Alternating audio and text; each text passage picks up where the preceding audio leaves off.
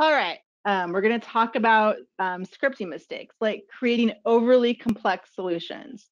Now, the go-to move for some developers, especially those who come from a computer engineering background, is to get in the designer and just start scripting away. And while that can work, understanding when to create a script versus using a binding or simply the built-in function of a component that accomplishes the exact same thing will help you to build faster and avoid any strange issues down the road. Um, so ask yourself, am I using a script to set the value of a component and I can use a binding instead? Is there some built-in functionality that meets my project needs? So Ignition comes with, you know, all these great components. You have the Ignition Exchange. So before you start with a lot of complex scripting, just, just have a look at what's available. Now, here's a common mistake. Um, a user is not familiar with binding, um, so they're going to add a parameter to a view or a window. And then if that parameter changes, they're going to have a script, and that script's going to go around and it's going to find all the components that use that parameter, and it's going to reset all the values. So this is overly complex, and it's difficult to troubleshoot. If you have a consistent tag structure in place, indirect binding is going to work hands in hand with the parameters the tag addressing will automatically be updated when a parameter value changes. Scripting functions are a great tool and they can be incredibly useful, but having too many in a single view and linking them all together can leave you chasing down a problem if one were to occur. So before you open that script editor, check that Ignition doesn't already have that feature or functionality built in, because most of the time it does. Be cautious if one script is calling another script and then calling yet another script. This is a sign that something should be simplified. Having unorganized scripts is another simple mistake that, be, that can become a mess really quickly. Defining your scripting functions allows you to use them repeatedly. If you find yourself tempted to copy and paste several lines of code, it's very likely time for a function.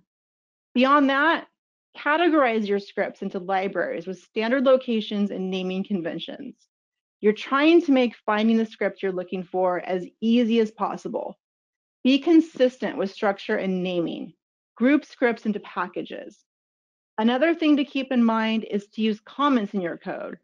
So you know what that script does and why. If you come back to a script months later and there's no comment on it, you might have no idea what it does. Um, this has happened to me. No matter how great of a scripter I think I am, I'm going to forget. I need to put those comments in there. Um, so we keep hitting on the idea of repeatability again and again. You don't know what your scripts do, you're not going to be able to reuse them. The final mistake we'll cover today is misunderstanding the scope of a project. There's a difference between how scripts act based on whether they cause a gateway event or a client event. Furthermore, depending on screen size and resolution, scripts can act and look different in the designer versus in the client versus the gateway.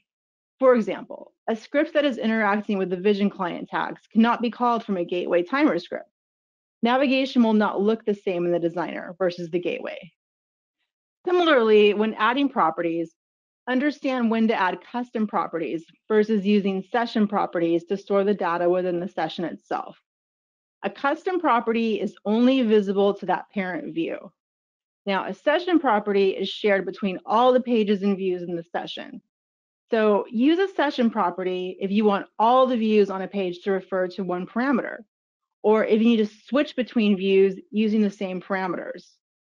You can then bind the view to the session property and set it once.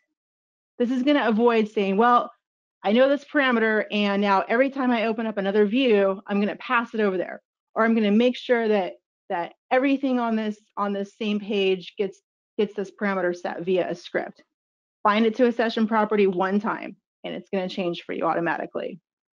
Um, now, message handlers are also a great way to pass data between components and views. A message handler can take action on the data that was passed to it, and it could refresh a table, populate a flex repeater, or add a new pin to a chart. The possibilities are endless.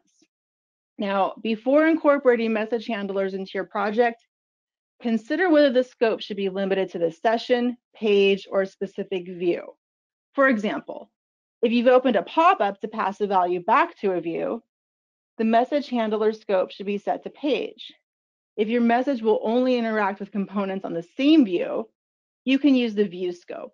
No other views will respond. Now, if your message handler doesn't seem to be responding, check the scope. That's almost always the source of the issue.